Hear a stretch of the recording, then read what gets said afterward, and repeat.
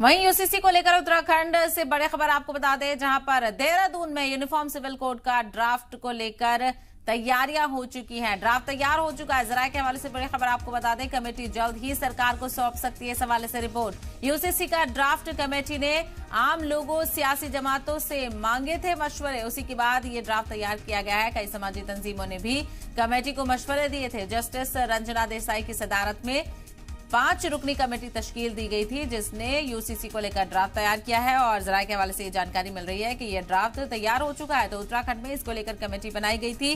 Draft तैयार करने की बात की गई थी।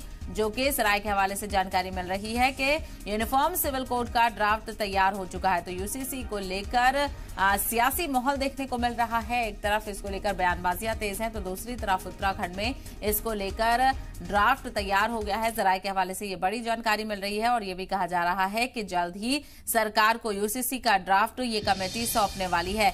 कमेटी ने आम लोगों और सियासी जमातों से मशवरे मांगे थे। कई समाजी तंजीमों ने भी कमेटी को अपने मशवरे दिए हैं। और जिसके बाद जस्टिस रंजना देसाई की सदारत में ये यूसीसी का ड्राफ्ट तैयार किया गया है। उनकी सदारत में पाँच रुकनी कमेटी तश्कील दी गई थी, जो कि यूसीसी के ड्राफ्ट को तैयार कर रही थी। और अब जराये के हवाले से बड़ी जानकारी मिल रही है कि उत्तराखंड में ये ड्राफ्ट तैयार कर लिया गया है और अब देखना ये होगा कि क्या कुछ इस ड्राफ्ट में है जब ये सरकार को पेश किया जाएगा। तो इसकी तफसील भी सामने आएगी। तो यूसीसी को लेकर चर्चाएँ तेज हो गई हैं।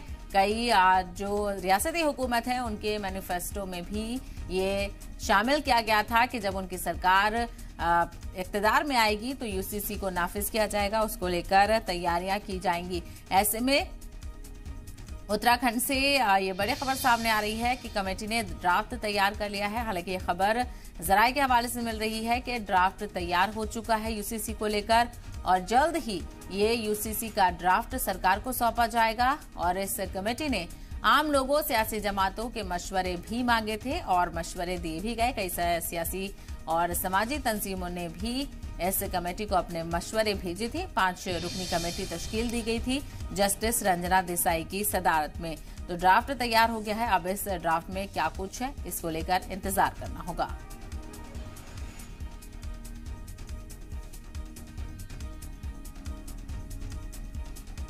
तो बड़ी खबर यूसीसी को लेकर आपको बताते चले उत्तराखंड की हुकूमत ने यह वाजे किया था कि जब सरकार इकतदार में आएगी तो यूसीसी को लेकर बातचीत की जाएगी। यूसीसी को, का नाफ, को नाफिज किया जाएगा जल्द अज जल्द। ऐसे में इसको लेकर ड्राफ्ट बनाने की बात कही गई थी। जस्टिस रंजना देसाई की सदारत में पाँच रुकनी कमेटी भी तश्कील दी गई थी जो कि इस ड्राफ्ट को तैयार कर रही थी और जरा के हवाले से ये जानकारी मिल रही है कि ड्राफ्ट तैयार हो चुका है और जल्द ही ये कमेटी इस ड्राफ्ट को सरकार को सौंपेगी। कमेटी ने आम लोगों, सियासी जमातों से मशवरे मांगे थे और कई समाजी तंजीमों ने भी कमेटी को मशवरे दिए थे, जो जस्टिस रंजना देसाई की सदारत में पाँच रुकनी कमेटी तश्कील दी गई है।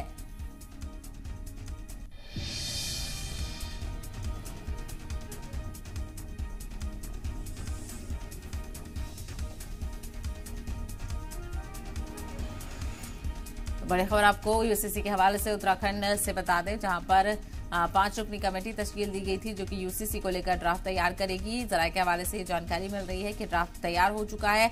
जल्द ही कमेटी इस ड्राफ्ट को सरकार के सामने पेश करेगी, सरकार को सौंपेगी। कमेटी ने आम लोगों और सियासी जमातों से मशवरे भी मांगे थे।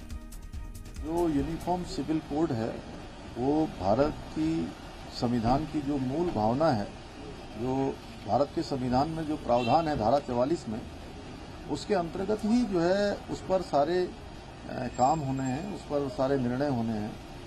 और जो हमारी ड्राफ्ट बनाने वाली कमेटी है यूसीसी कमेटी उस पर काम कर रही है और वो सबके हित में आएगा। एक देश में सबके लिए एक समान कानून होना चाहिए, इसकी मांग लंबे समय से उठती रही है। हमने उत्तराखंड में इसकी शुरुआत की है, देवभूमि इसके लिए अगुवाई कर रही है और आने वाले समय में हमारी तो अपेक्षा है कि देश भर में ये कानून लागू होना चाहिए।